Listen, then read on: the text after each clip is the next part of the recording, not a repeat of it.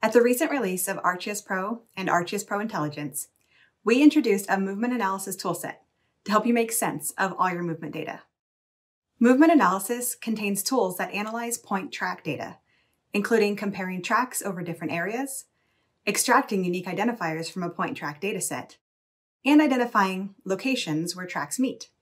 Now, you might be asking, what exactly is movement data? Well, you've likely seen or heard of movement data, but you may have called it something else, like GPS data, telemetry, tracking data, or even mobile marketing data. Movement data is typically collected in high volumes, but the only required information is a unique track ID, location, and a date timestamp. Let's take a look at these newly released tools and the problems they can solve. Movement data without context really just looks like a whole bunch of dots.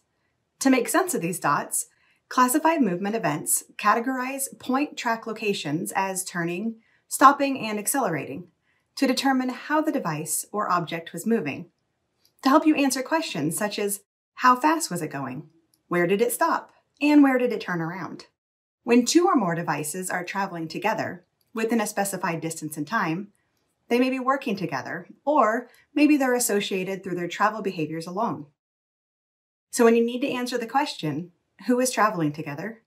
Use Find Co-Travelers to identify devices that may be traveling together by comparing near tracks within a time interval to find behaviorally relevant relationships. In other cases, you may need to pinpoint areas where devices are showing up together and determine how long the devices were there. In other words, who is meeting together, where are they meeting, and for how long.